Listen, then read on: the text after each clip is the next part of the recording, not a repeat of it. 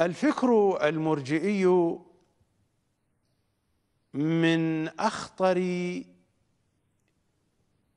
ما يمكن أن يدمر العقيدة السليمة.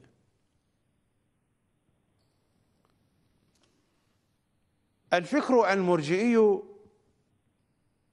يتحرك بخفاء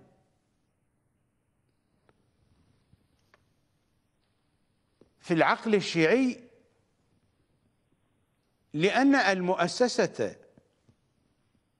الدينية الشيعية الرسمية المسؤولة عن بناء العقل الشيعي غاطسة في قذارات الفكر المرجئي. لا أريد أن أحدثكم عن هذه الجهة لكنني أضرب لكم مثالا تستطيعون أن تتلمسوا خطورة هذا الفكر. بالنسبة لعامة الشيعة فهؤلاء عبيد عند المراجع المرجئة. وهؤلاء حمير. أتحدث عن حمير البشر. هؤلاء حمير عند مراجع حوزة الطوسي.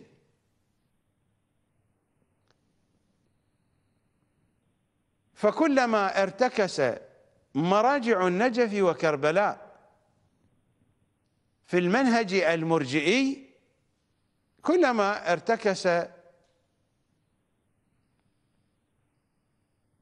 الشيعة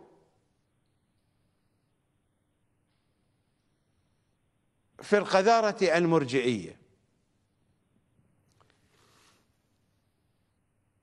المثال الذي جئتكم به في هذه الحلقة كي تستكشفوا مدى خطورة الفكر المرجئي.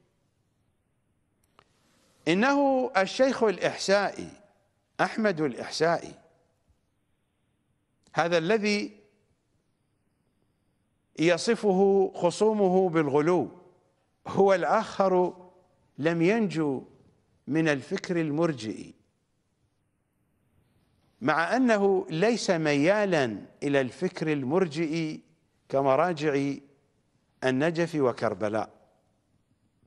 الشيخ الإحسائي أحمد الإحسائي رفض منهج حوزة الطوسي في الجانب العقائدي أما في الجانب الفتوائي فهو غاطس معهم في القذارة نفسها. في علم الأصول وعلم الرجال وسائر القذارات الشافعية المعتزلية. المدرسة الشيخية في الجانب الفتوائي غاطسة في نفس قذارات حوزة الطوسي. لكنها في الجانب العقائدي لها منهجها الذي اختطه الإحسائي بعيدا عن منهج حوزة الطوسي.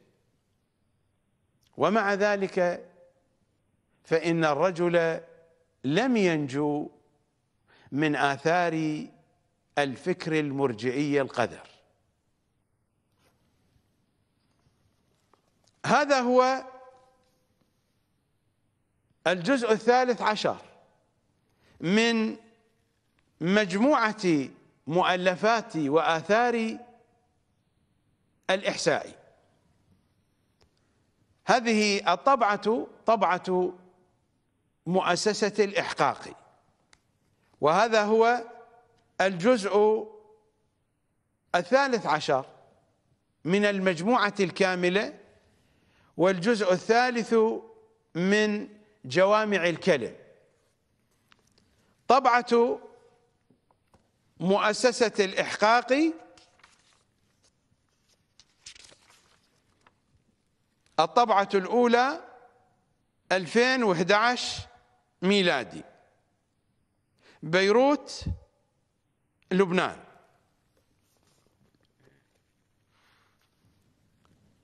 الرسالة السلطانية. هذه رسالة وجهها الشاه الإيراني. فتح علي شاه. السلطان القاجاري. المعروف.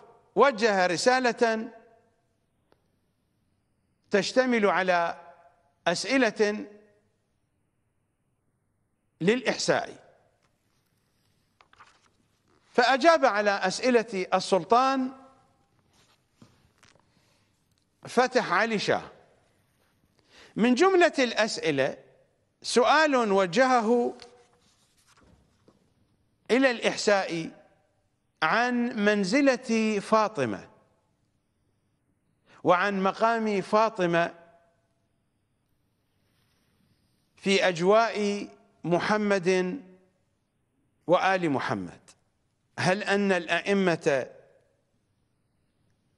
أعلى رتبة منها أم أنها أعلى رتبة من الأئمة؟ فماذا أجاب الإحساء ويا ليته لم يجب؟ لقد أجاب جوابا وفقا للقذارة المرجئية. صفحة 316 هكذا كتب الإحساء وأجاب. وأما فاطمة عليها السلام فاختلف العلماء في شأنها فقال قوم إنها بعد علي عليه السلام. أفضل من بنيها الأحد عشر. وقال قوم إنها بعد الحسن والحسين أفضل من التسعة. يعني أن الحسن والحسين أفضل منها. وقال آخرون إن الأئمة الاثني عشر كلهم أفضل منها. وسبب الاختلاف اختلاف الروايات والذي يترجح عندي عند الإحساء أن فضلها بعد الأئمة الاثني عشر.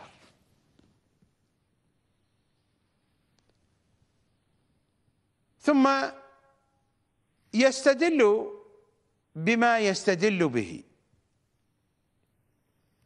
لا أريد أن أقرأ كل الكلام لطوله لكنه استدل بإستدلال واهن وضعيف جدا.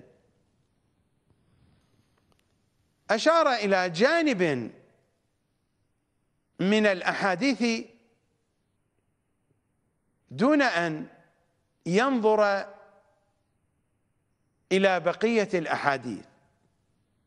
على أي حال هذه عقيدته. أنا لا أريد أن أناقش استدلاله فهذا سيجعل الحلقة طويلة وطويلة جدا. وأنا وعدتكم أن تكون حلقة يوم غد عن إسحاق الفياض. سأحاول أن ألملم أطراف حديثي. في هذه الحلقة. إلا إذا تشعب الحديث فماذا سأصنع؟ هذه عقيدة الإحساء التي بينها في الجزء الثالث من كتابه جوامع الكلم. قرأت عليكم أوصاف الطبعة. لا أعيد ما تقدم من كلام. وقال آخرون إن الأئمة الاثني عشر كلهم أفضل منها. إلى أن يقول وهو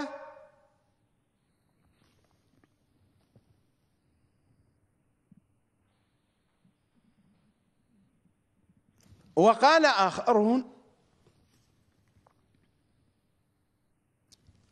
وقال آخرون إن الأئمة الاثني عشر كلهم أفضل منها وسبب الاختلاف اختلاف الروايات والذي يترجح عندي أن فضلها بعد الأئمة الاثني عشر.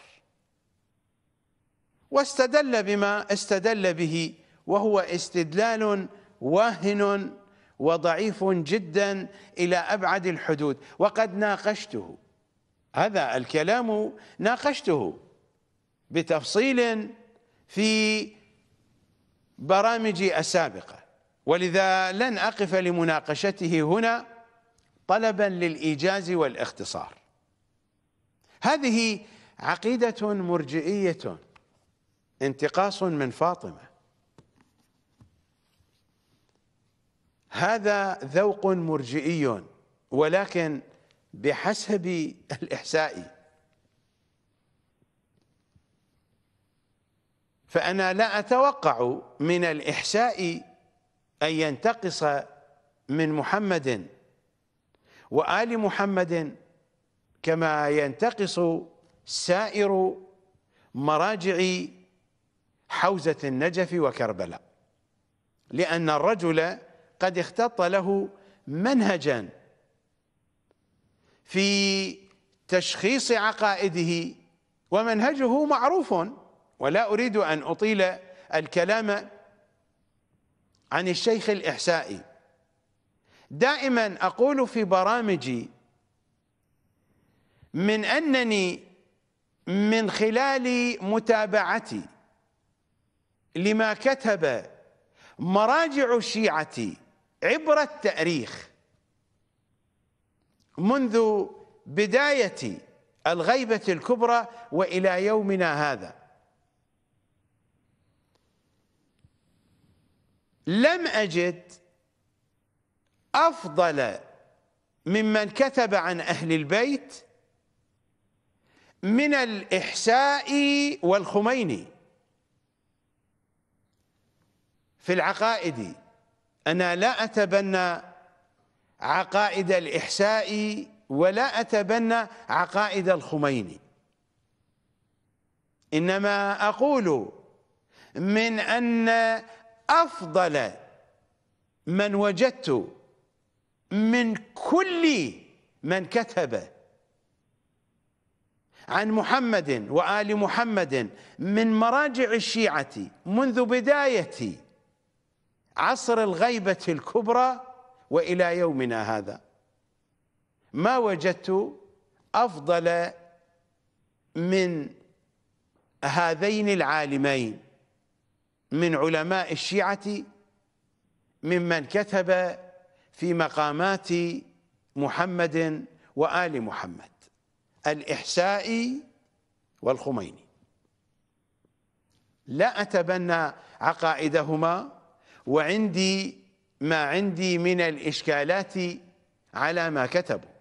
لا شأن لي بهما ولا بعقائدهما إنما أقايس فيما بين هذين الرجلين وبين سائر مراجع حوزة الطوسي عبر تاريخ الغيبة الكبرى. هذه عثرة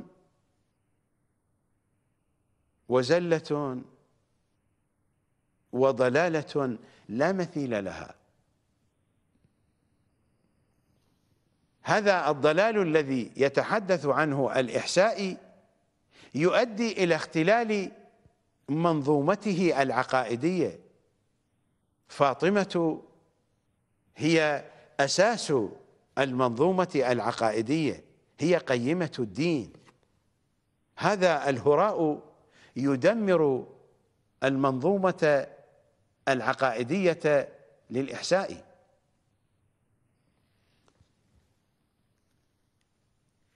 القضية ليست عارضة في شرحه للزيارة الجامعة الكبيرة ردد نفس الكلام الذي هو أفضل كتبه.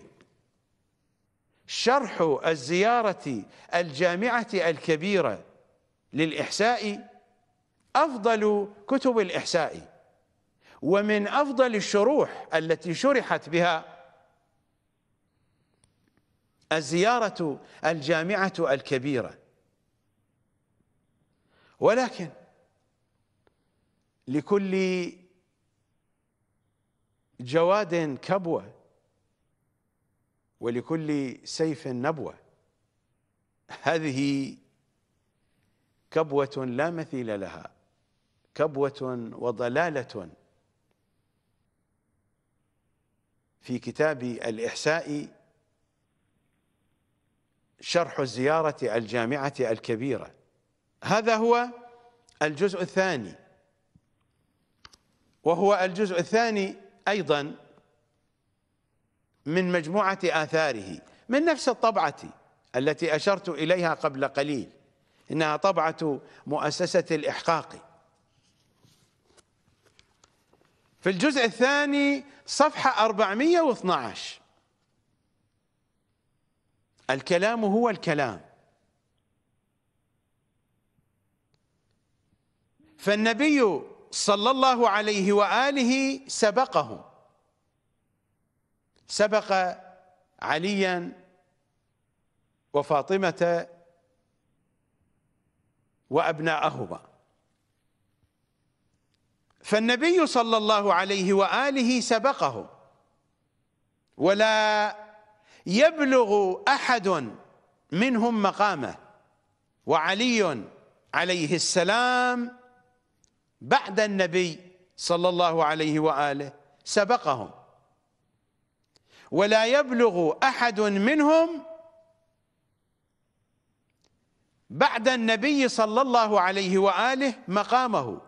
وكذلك الحسن بعد علي ثم الحسين ثم القائم القائم المهدي ثم الأئمة الثمانية ثم فاطمة.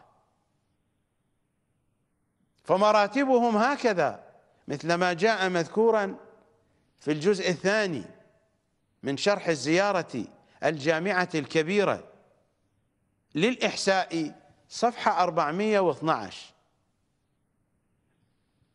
الرسول أولا المرتضى ثانيا الحسن ثالثا الحسين رابعا. القائم المهدي خامسا الأئمة الثمانية من السجاد إلى الحسن العسكري.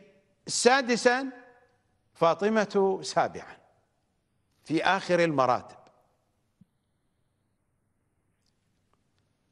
مذاق مرجئي هذا.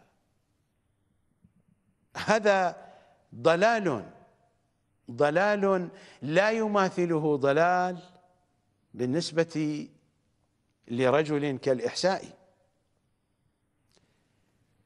هذا الكلام أيضا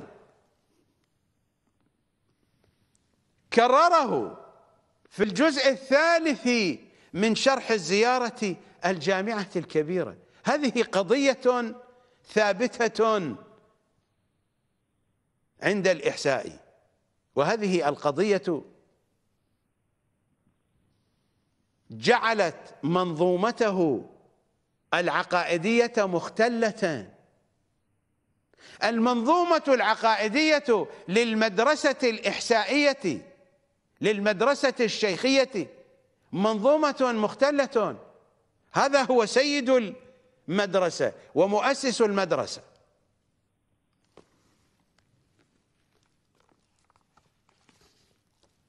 اختلال هذه المنظومة أن شابه ما شابه من الفكر المرجئي القذر. هذا هو الجزء الثالث صفحة 340 الجزء الثالث من شرح زيارة الجامعة الكبيرة للإحساء وهو الكتاب المركزي للشيخ الإحسائي والكتاب المركزي للمدرسة الشيخية. في الجانب العقائدي صفحة 340 الكلام هو الكلام. هنا فائدة في الإشارة إلى الحرف الذي يتفاضلون به. وقدر مدته. أما الحرف فهو في تقدم الذوات. بعضها على بعض كما تقدم رسول الله صلى الله عليه وآله على علي عليه السلام وعلي على الحسن والحسن على الحسين والحسين على القائم. والقائم على الأئمة الثمانية وهم على فاطمة على ما ظهر لي. هذه عقيدته. على ما ظهر لي. صلى الله عليهم أجمعين. هذه عقيدته هو الذي يقول على ما ظهر لي. هذا مذاق مرجئي قذر.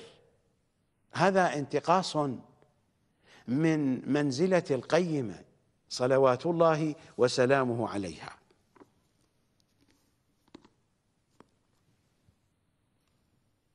هذا من تلك.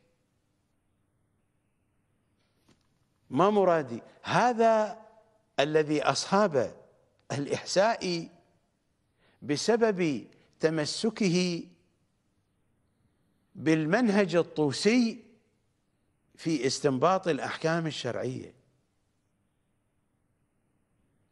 الإحسائي في الجانب العقائدي حاول أن يقترب كثيرا من منهج العترة الطاهرة لكنه في الجانب الفتوائي ارتكس في القذارات الشافعية والمعتزلية والمرجئية. المنهج الطوسي هو هو. وهذا واضح فيما أفتى به الإحسائي ومن رسالته العملية التي سأخذ لكم مثالا من رسالة عملية كتبها في شؤون الصلاة وأحكامها. لكنني قبل أن أتناول هذا الموضوع أذهب بكم إلى فاصل وأعود بعد الفاصل كي أحدثكم بشكل سريع عن القيم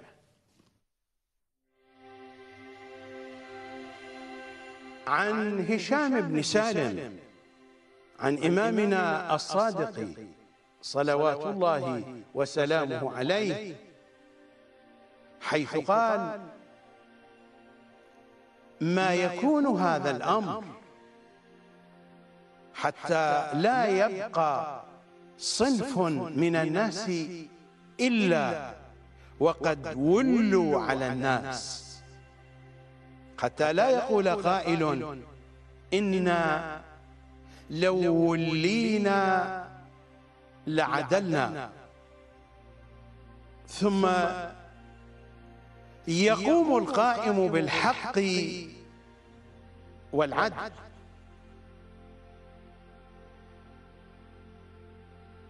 وعن أبي بصير عن إمامنا الباقر صلوات الله وسلامه عليه. يقوم القائم في وتر من السنين. تسع واحدة ثلاث خمس. وقال إذا اختلفت بنو أمية ذهب ملكهم. ثم يملك بنو العباس. فلا يزالون في عنفوان من الملك وغضارة من العيش حتى يختلفوا. فيما بينهم. فإذا اختلفوا ذهب ملكهم. واختلف أهل الشرق وأهل الغرب. نعم. وأهل القبلة. ويلقى الناس جهد شديد مما يمر بهم من الخوف. فلا يزالون بتلك الحال حتى ينادي مناد من السماء. فإذا نادى فالنفر النفر فوالله لكأني أنظر إليه بين الركن والمقام. يبايع الناس بأمر جديد وكتاب جديد وسلطان جديد من السماء. أما إنه لا يرد له راية أبدا حتى يموت.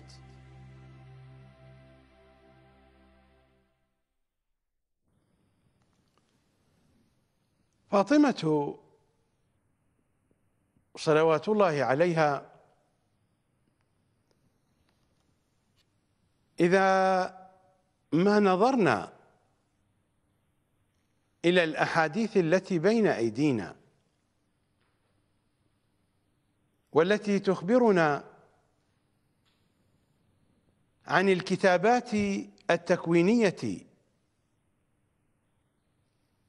وحيث أن الله سبحانه وتعالى كتب الأسماء الشريفة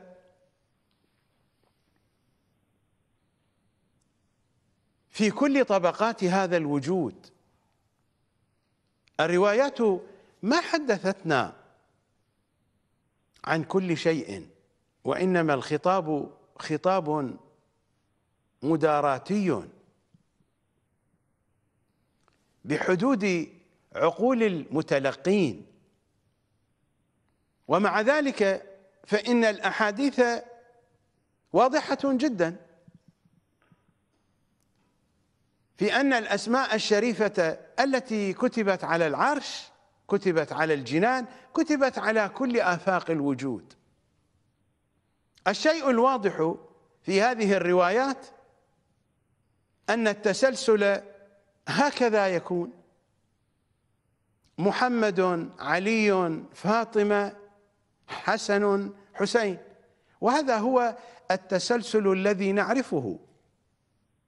حينما نتحدث عن أصحاب الكساء وحينما نتحدث عن سلسلة المعصومين فإن التسلسل هكذا. محمد علي فاطمة حسن حسين. إلى القائم صلوات الله وسلامه عليه قد يقول قائل هذا التسلسل تسلسل تاريخي لأن القائم هو الأفضل من بين التسعة من عترة الحسين صلوات الله وسلامه عليه.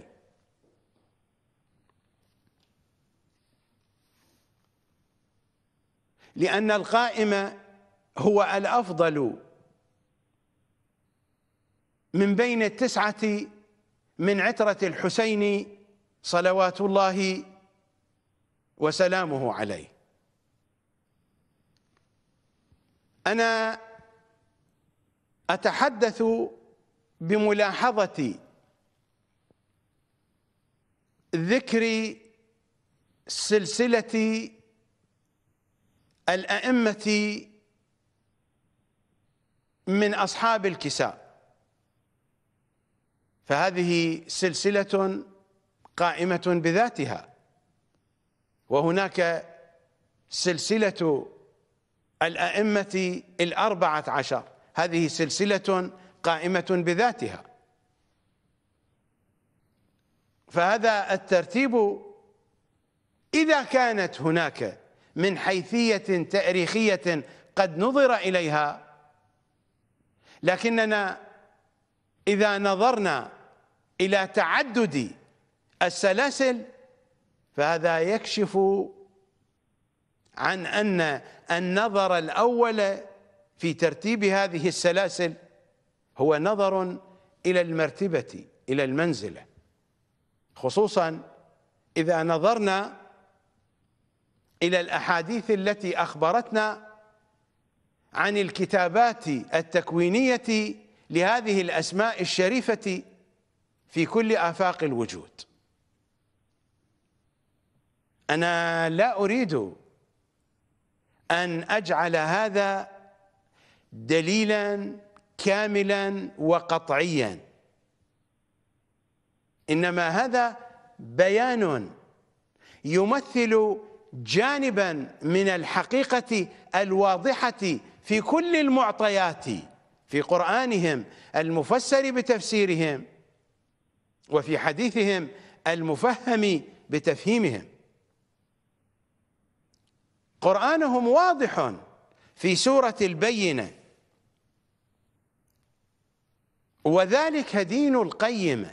الآية الخامسة بعد البسملة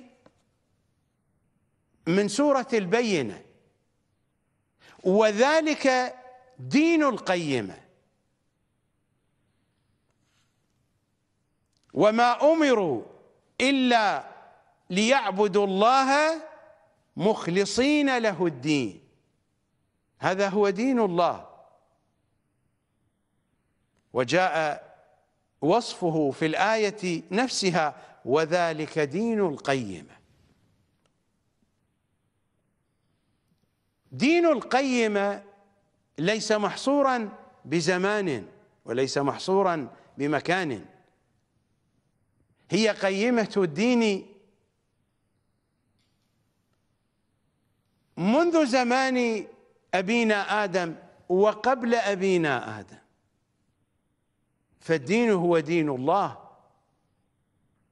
ودين الله ليس له من زمان وليس له من مكان. وليس له من تحديد في مجموعة أشخاص. الدين أبوابه مفتوحة للجميع. لكن القيمة واحدة هي فاطمة.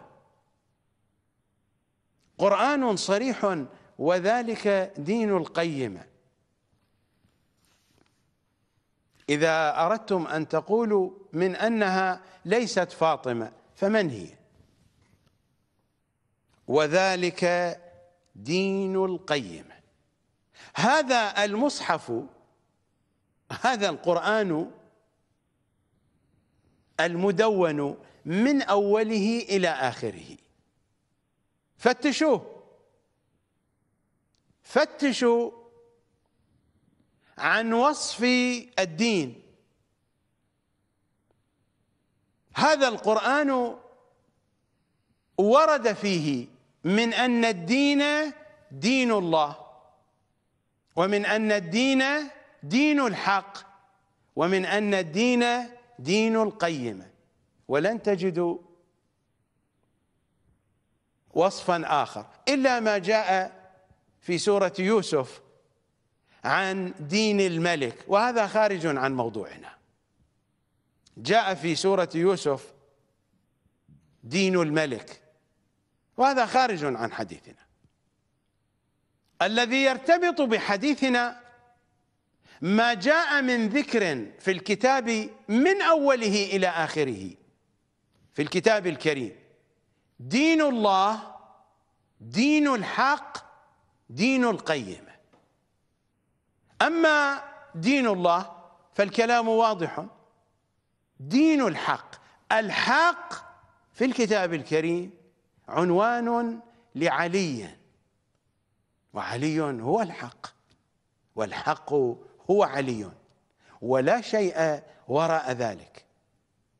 مثلما الصراط المستقيم هو اسم حقيقي لعلي.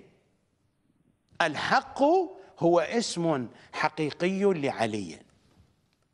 فدين الله هو دين علي وهو دين فاطمة.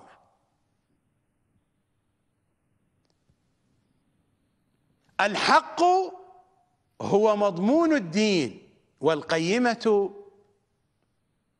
هي المشرفة المتولية لأمر الدين وأهله.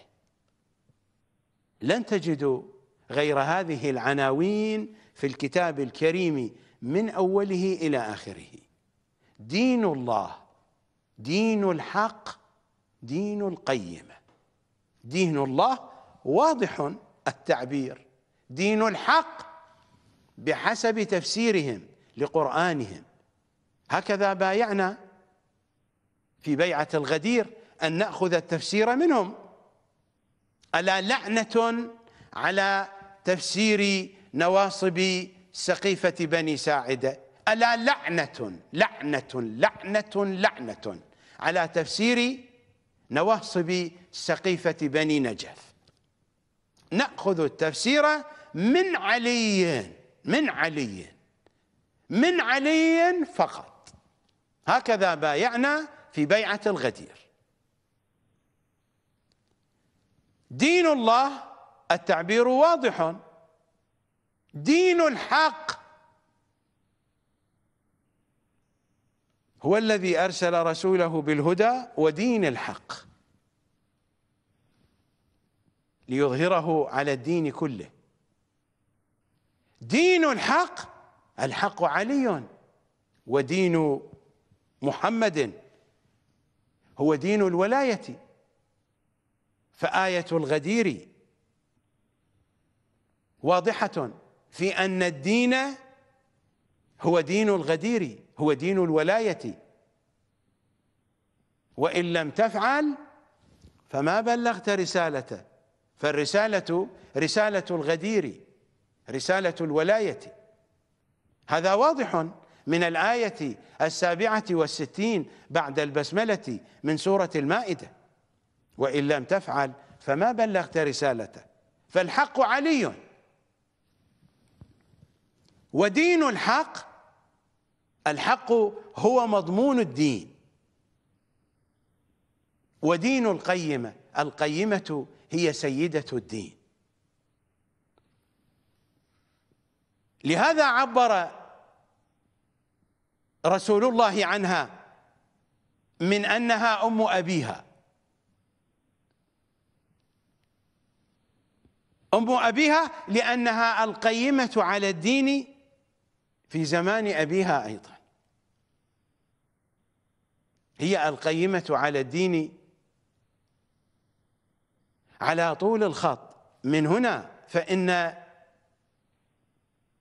رسول الله صلى الله عليه وآله. إذا ما كان خارج المدينة ودخل إليها فإن أول شخص يذهب إلى زيارته وتجديد العهد به فاطمة.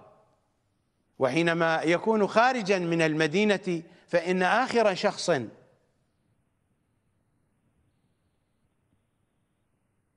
يودعه محمد صلى الله عليه وآله فاطمة. هذه التصرفات من محمد صلى الله عليه وآله لم تكن لأمر أسري عاطفي. القضية دقيقة عميقة جدا. لأنها هي القيمة. ما هو هذا التعبير واضح. الله يقول وذلك دين القيمة. وهذا القرآن بين أيديكم. افحصوه من أوله إلى آخره. لن تجدوا إلا هذه التعابير. دين الله دين الحق دين القيمة. المضمون واحد في جوهره. لكننا إذا أردنا أن ندقق في التفاصيل فإن القيمة هي المشرفة على الدين. من هنا فهي إمام الأئمة من بعد محمد وعلي إمام للأئمة من أبنائها. من الحسن المجتبى إلى القائم المهدي. صلوات الله عليهم. هذا هو الإرشاد للمفيد. الكتاب المعروف. وهذه الطبعة طبعة مؤسسة سعيد بن جبير الطبعة الأولى 1428 هجري قمري. قم المقدسة. صفحة 337 من وقائع كربلاء. سيد الشهداء يقول لعقيلة بني هاشم الواقعة معروفة. حينما سمعته يقول يا دهر أف لك من خليلي كم لك بالإشراق والأصيل إلى آخر أبياته.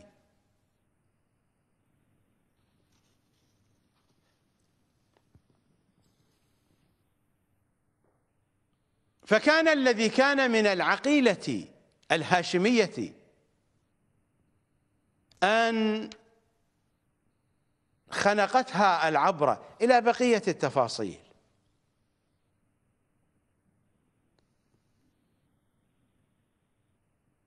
من جملة ما قاله سيد الشهداء للعقيلة الهاشمية وهو يسكن ألمها أبي خير مني وأمي خير مني. وأخي خير مني. ولي ولكل مسلم برسول الله أسوة. كلام الحسين واضح جدا. أبي خير مني. إنه كلام رسول الله صلى الله عليه وآله.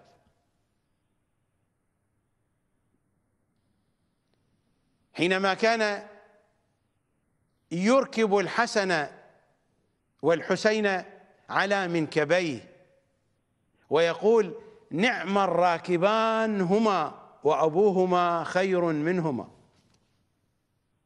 المنطق منطق واحد. فالحسين هو الذي يقول للحوراء زينب. أبي خير مني وأمي خير مني وأخي خير مني. في التوقيعات الشريفة وأنا أقرأ عليكم من الجزء الثالث والخمسين من بحار الأنوار لشيخنا المجلسي وطبعة طبعة دار إحياء التراث العربي. صفحة 179 رسالة طويلة. هذه المطالب تحدثت عنها بالتفصيل في برامجي السابقة. وكل البرامج تتوفر على الشبكة العنكبوتية. الإمام يتحدث عن إمامته ويتحدث عن جعفر الكذاب الذي ادعى الإمامة كذبا وزورا وظلما وافتراء. ثم ماذا يقول صاحب الزمان؟ صفحة 180 وفي ابنة رسول الله صلى الله عليه وآله لي أسوة حسنة مثلما أنكروا إمامتها فهؤلاء ينكرون إمامتي. وحتى إذا لم تقبلوا بهذا الكلام فإنه جعل الصديقة الكبرى أسوة له. إمام معصوم هل يمكن أن يجعل شخصا دونه في المرتبة أسوة له. هل هذا الكلام منطقي؟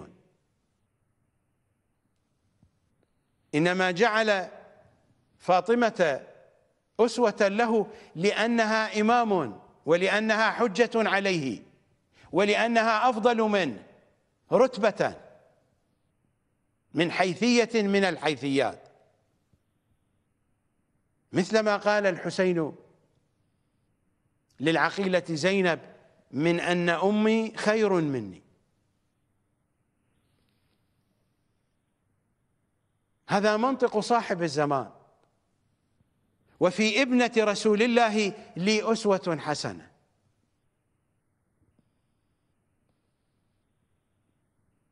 يا زهراء يا زهراء حتى الذين نحسن الظن بهم. كالإحساء يسيء إليك.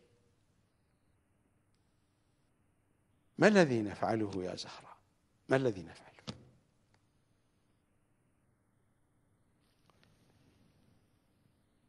وفي ابنة رسول الله. هذا منطق صاحب الزمان.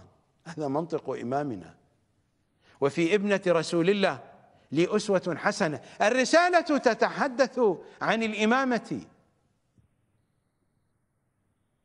فهي أسوة له في الإمامة.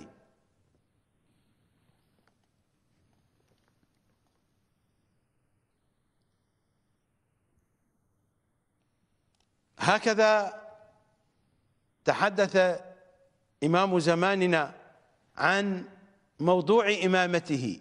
ولولا ما عندنا من محبة صلاحكم ورحمتكم والإشفاق عليكم لكنا عن مخاطبتكم في شغل مما قد امتحنا من منازعة الظالم.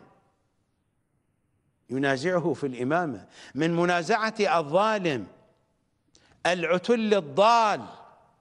المتابع في غيه المضاد لربه المدعي ما ليس له. يدعي الإمامة إنه الكذاب جعفر. الجاحد حق من افترض الله طاعته. الظالم الغاصب وفي ابنة رسول الله لي أسوة حسنة. هذه أسوة في الإمامة. أسوة في الحجية واضحة.